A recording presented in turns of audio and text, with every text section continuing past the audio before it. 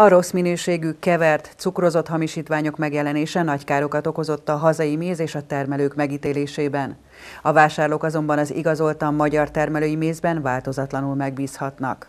Azért szervezzük ezt a rendezvényt, hogy népszerűsítsük a magyar mézet, a magyar termelői mézet, és egy atkelleni védekezést, illetve az atka kártételét bemutassuk, illetve az ellene való védekezést. Ugye legnagyobb gond a mészetbe az ázsiai nagyatka, és gyakorlatilag ezt szeretnénk körüljárni.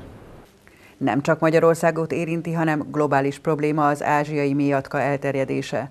Ezért is kaptak meghívást a szomszédos országok szakemberei a konferenciára. A méhekről tudni kell, hogy olyan tenyész állat, amely nem tartható ketrecben, azaz az ország határokat nem ismeri, így a szlovén-horvát-magyar kapcsolat kiemelkedő fontosságú, egy légtérben vannak méheink, mind a három uniós tagországban különféle uniós projektek futnak, ezeket az ATKA, varroatka védekezéssel kapcsolatos uniós projekteknek ad otthont az egyeztetésnek ez a kanizsai rendezvény.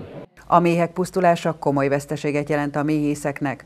Hosszú évtizedek munkája válhat semmisé, akár egyetlen nap alatt is. Azok az emberek, akik pedig méhekkel foglalkoznak, méhészkednek, ők ebből a családot tulajdonképpen el tudják tartani, hogyha ügyesen és jól csinálják, és sajnos az utóbbi időben pedig azt halljuk, hogy a mély családok pusztulnak el, sok olyan baj van, betegség van, amely tizedeli őket.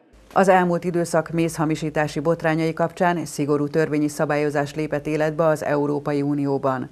A hazai szakhatóságok is mindent megtesznek a termelők és a fogyasztók védelmében. Pár nappal ezelőtt derült ki, hogy egy újabb hamisítási kísérletet akadályoztak meg a Nébiknek a munkatársai, de lehet látni, hogy már csírájában elfolytja a hatóság, a magyar hatóság ezeket a hamis szándékokat. Így, aki magyar mézet akar venni, a jó minőségű magyar mézet akarja megvenni a magyar boltokban, akkor ezt meg is találja. Az ágazat legjelentősebb problémái 10 pontban összefoglalhatók az Országos Egyesület elnöke szerint. Ebben a környezeti tényezők mellett az emberi gondatlanság is nagy szerepet játszik. Az ázsiai méjatka elleni védekezés mellett ezekre a problémákra is kiemelt figyelmet fordítanak a jövőben.